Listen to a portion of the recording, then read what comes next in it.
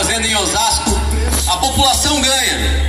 Porque a otimização da Guarda Municipal, o trabalho de excelência que nós fazemos na cidade, o pessoal do trânsito que está apoiando esta passeata, o que nós buscamos é justiça para quem protege, a proteção para quem protege.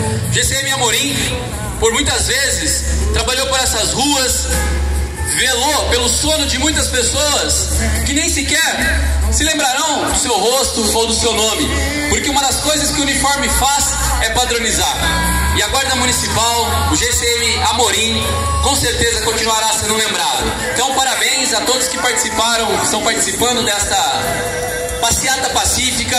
Eu tenho certeza que Deus também está junto da, da família, junto de todos esses estão, estão lutando para que nós tenhamos. Depois desses sete dias, que hoje faz sete dias que o GCM Amorim foi alvejado enquanto trabalhava, faz sete dias, mas para que nós tenhamos esclarecimentos. No Brasil, quando se luta por justiça, nós estamos buscando a melhora da sociedade como um todo, porque nós precisamos, ao final de todos os processos, ter respostas. E o GCM Amorim, há sete dias, foi morto enquanto trabalhava. Por isso essa passeata, para que todos de Osasco consigam saber que hoje a corporação está em luto, a família está em luto e a própria sociedade também, porque nós precisamos saber, ter esclarecimentos sobre o que aconteceu.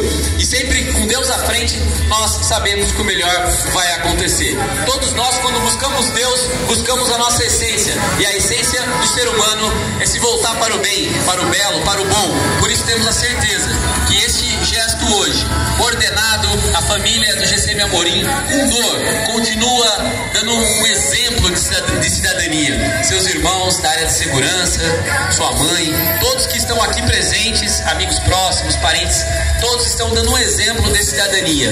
Ninguém em nenhum momento aqui está buscando vingança, sim justiça, porque a justiça constrói, enquanto a vingança destrói. Enquanto sociedade nós temos que melhorar diariamente. Parabéns a todos. Passeata por justiça. Obrigado a todos que têm chorado conosco. Que Deus recompense vocês que têm abraçado esta causa. Os sonhos de Deus são maiores.